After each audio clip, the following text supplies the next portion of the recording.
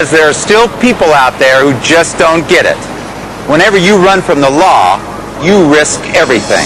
This truck is speeding at over 70 miles per hour, uphill through a four-way stop and continuing on the wrong side of the road. The teenage boy and girl in this pickup aren't stopping for anything. In the back of the truck, a stolen lawnmower tractor. 500 extra pounds of momentum. They race down this hill, blow right through a stop sign, and careen onto the wrong side of the road. Ahead, a squad car blocks their way. Pull the vehicle over now. But they're not listening. They're not stopping for anything. They approach an intersection. The light is red. They go for it.